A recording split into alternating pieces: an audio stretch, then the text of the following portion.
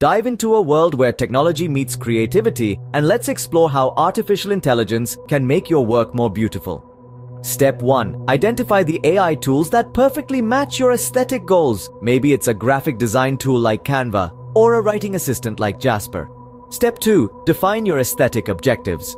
What's your goal? A consistent brand style, captivating visuals, or compelling narratives. Step 3.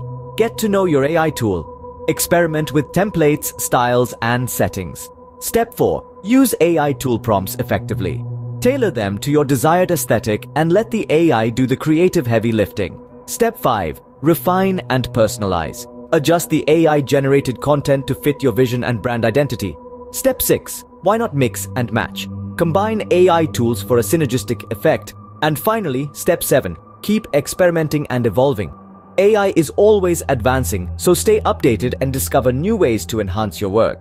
Remember, AI tools are powerful allies in your creative journey, helping you to elevate your work to new heights of visual appeal and engagement.